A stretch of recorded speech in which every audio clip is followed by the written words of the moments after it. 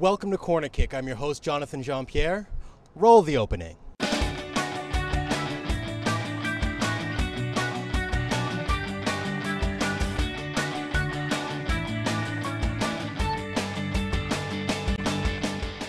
So I can't believe the season, the regular season for the Canadian Corporate Soccer League is already pretty much half over. We've had some ups and downs over the past five weeks.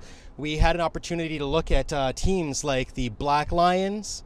Uh, they had some growing pains that uh, started. They started out with. Uh, we did very badly uh, today. Um, they were all over us. They're a very experienced team, from what I understand. They've been playing together for quite some time. Uh, this is our first season in the league in this incarnation. So we're still uh, having some growing pains, but I think we'll get over those for the next time.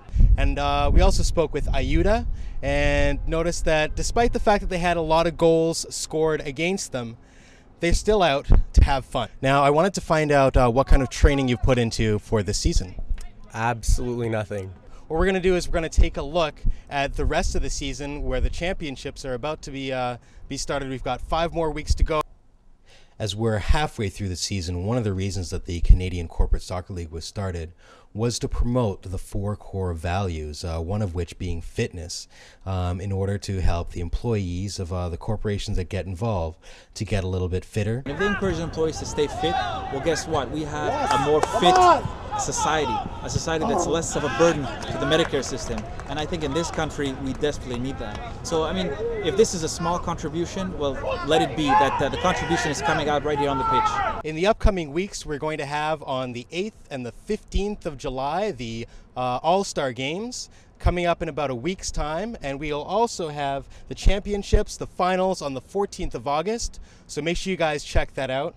Look at the website. You guys will be able to catch the uh, information for where that final, of those two final games are going to be.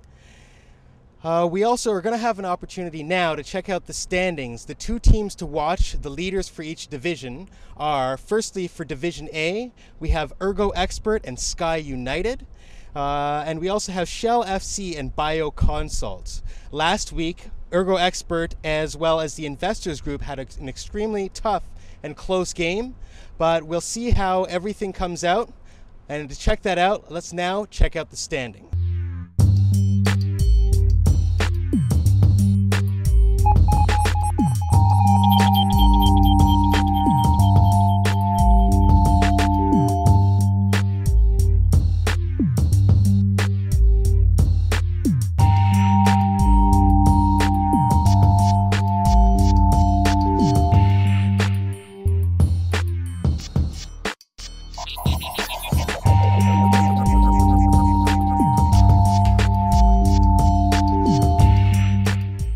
I'm Jonathan Jean Pierre, and we'll see you guys next week on Corner Kick.